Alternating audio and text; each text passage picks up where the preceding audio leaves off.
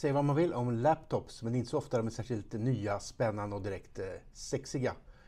Eh, nytänkandet är glest mellan och för det mesta handlar det bara om datorer som blir lite bättre och lite mer uppdaterade år efter år. Därför är det kul att se att ibland så tänker tillverkarna till i alla fall, försöker sig på någonting nytt. Och på det temat fick jag idag spana in Lenovo Yoga 9i som är en eh, ny laptop från Lenovo som alltså kommer börja levereras i år.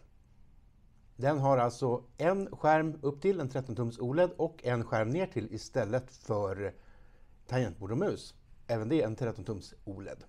Det här är inget supernytt koncept, vi har sett sådana eh, experimentella datorer tidigare. Eh, men aldrig några som känns riktigt imponerande och som verkligen känns genomtänkta. Här hade nog verkligen tänkt till med olika användarlägen och olika sätt, både i hårdvara och mjukvara, som de spelar ihop tillsammans. Och eh, det verkar vara en riktigt lyckad lösning. Jag blev i alla fall imponerad av hur väl de olika lägena och hur lätt det var att switcha mellan dem och så vidare.